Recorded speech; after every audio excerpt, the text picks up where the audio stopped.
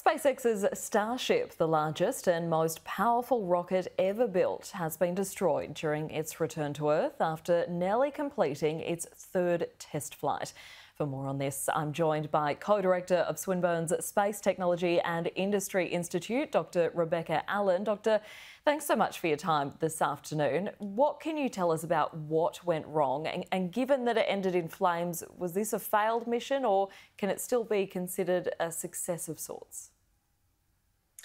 Yes, well, I think SpaceX is certainly happy with the majority of how the test went. Um, it's the furthest that the Starship has ever been able to fly. Um, with the past two tests, you know, not even really making it very far off the launch pad. However, the final stage of this test was for the Starship spacecraft and both the booster engine to deorbit um, and hopefully even try to capture that booster engine again. And that did not happen. It seems that both components have broken up um, on reentry. And so this is going to be a real challenge to understand exactly why the spacecraft broke up when they were hoping that it wouldn't. And considering that it will in the future carry human passengers, this is a really critical thing that they have to be able to, to understand. And what was the main aim of this mission? And is it going to set SpaceX back at all?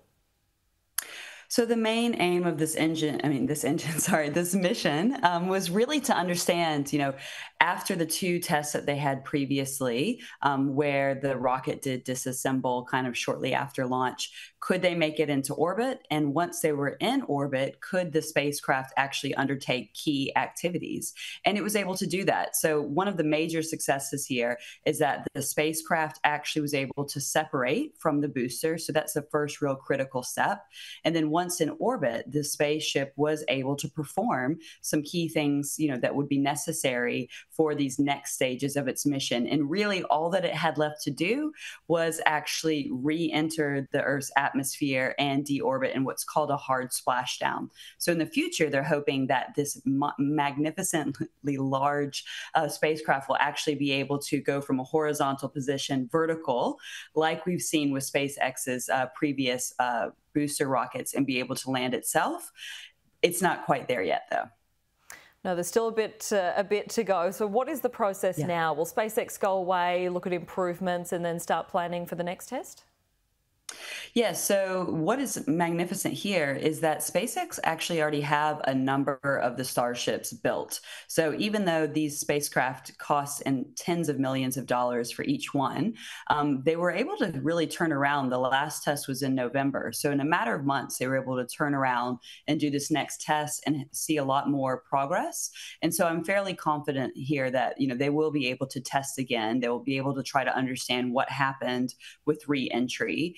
The I think the main holdup might actually come because the super heavy booster um, also broke up, and that was something that really wasn't supposed to happen. So I think there's going to be a bit of an investigation because really, whenever you have something to the scale um, of that go kind of go awry then you have to really understand from the regulatory bodies would that pose a threat if it happened again so we, they got pretty lucky this time um, so hopefully they'll be able to really identify those issues and then rapidly be able to test again um, because there's so many important missions which are dependent on the spacecraft yeah, absolutely. But as you mentioned, it does cost quite a bit. Um, you mentioned yeah. there, just how much does each of these tests cost? So anywhere from I think the estimates are probably around fifty million dollars um, just for one of the the spaceships, um, and so that that doesn't include all of the fuel, you know, all of the services to launch it. So really, you know, this is this is not a cheap test. Mm-hmm. Um, and again, this whole system is meant to be reusable. So the fact that it doesn't land, that it does break apart, um, that's that's probably one of the most costly um, elements of this is that you're not recovering any of this technology. Yeah, and do we know uh, roughly how many test flights SpaceX would likely mm. do mm. before it does eventually send astronauts? Yeah, look, I think we're going to have to start seeing a lot more progress in terms of successful orbits and reentries um, because the idea that you're flying, you know, crewed passenger, you're doing cruise, um, you know, NASA won't risk human life until they're really assured. So I'd say, you know, I think uh, SpaceX has three to four starships that are already assembled. I'd say we are looking at at least that many tests, um, if not a few more on top of that. Um, but hopefully everything will go to plan because uh, NASA's depending on the Starship to be able to land humans on the moon again, um, hopefully within the next few years.